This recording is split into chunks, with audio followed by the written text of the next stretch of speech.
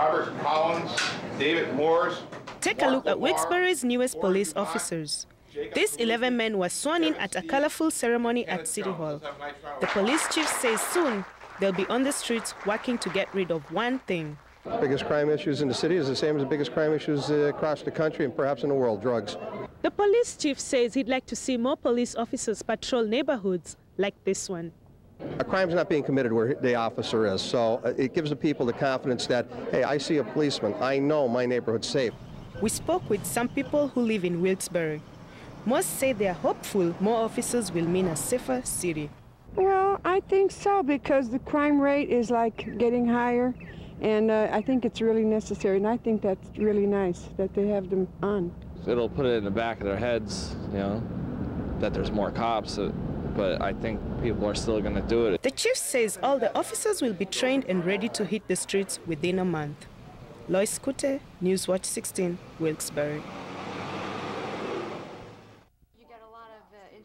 John Ratter is in Bartonsville. He has been trying to get home to Buffalo, New York for the last two days. I've been stranded here for two days. Actually, my car broke down on uh, Route 33 because of the snow, and uh, so I was lucky to get it towed and uh, get a ride here, but I've been stuck here for two days.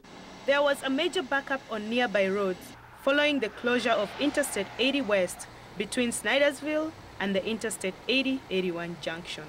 The manager of this, Howard Johnson, told us that luckily he had a few rooms left to accommodate the travelers affected by the snowstorm. We've been getting a little bit of overflux of traffic and the travelers who want to stay overnight. They don't want to go and drive in the conditions since Interstate 80 was closed last night. The travelers were also unclear on what alternate routes to use. PennDOT is not telling where the detours are at, and so the guests who were from, you know, from the tri-state area, they're a little confused. Truck stops were also congested with travelers who were forced off the interstate waiting for news when it will reopen.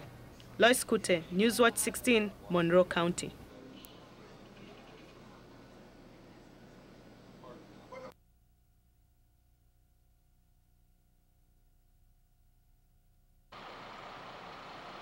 Most cell phone owners have probably done this several times.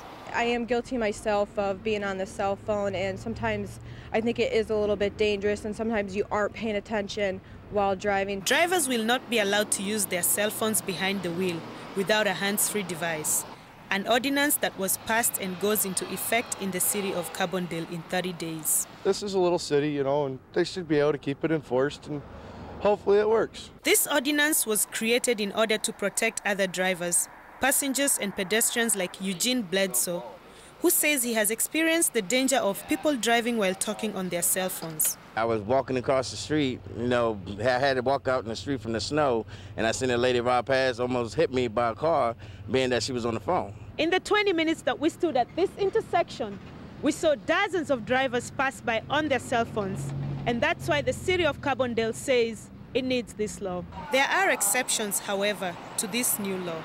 The emergency response officials on duty. For the rest caught breaking this law, there will be a $75 fine. And I think, that, again, there'll be a period of, of probably warnings um, that'll, that'll go out uh, from the police department. But, you know, after that certain period is over, then obviously we'll, we'll move towards citations. Even though the mayor says there will be difficulty in enforcing this law, it still remains a primary offense and you can be pulled over for it. Loyce Kute, Newswatch 16, Carbondale, Lackawanna County.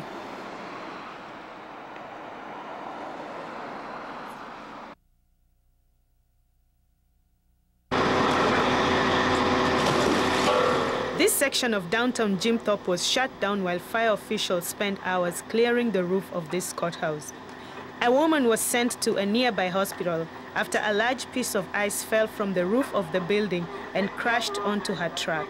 At the time, and I heard the snow sliding, I heard the noise, and I looked over just in time to see the uh, big chunks of ice coming off and hitting the vehicle. John Kane, a bartender in a nearby restaurant, said he heard a noise and rushed out to look at what was going on. The windshield on the driver's side was not totally smashed, but was shattered. And the back of the truck behind where the driver sat on the left-hand side, there were two pretty decent-sized dents in it. Emergency officials say that the situation would have been tragic if someone was walking on the sidewalk. Well, uh, this is just an example of what can happen because of the effects of our ice storm the other day, ice and snowstorm the other day. Um, you need to be aware of your surroundings. A member of the ambulance crew reported the woman's head injury was not life-threatening. Loyce Kute, Newswatch 16, Carbon County.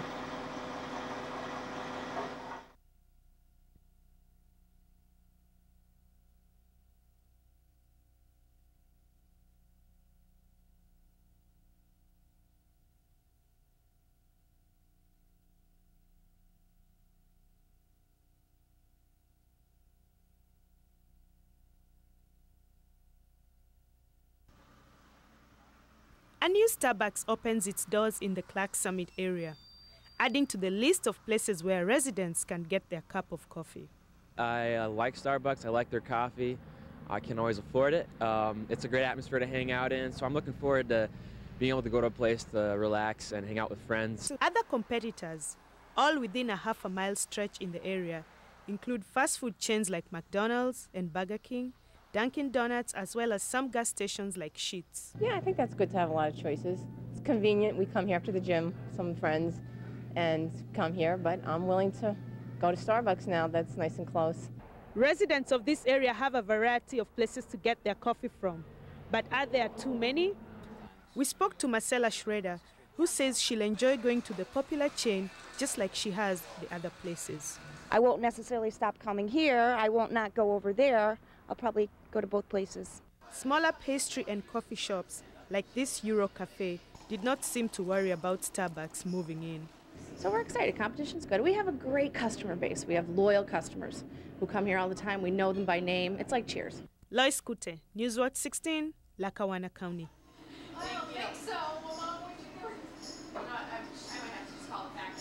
The one thing they'll change on Eshelman's track is this three. They'll make it into a four. 4 million plus accident-free miles.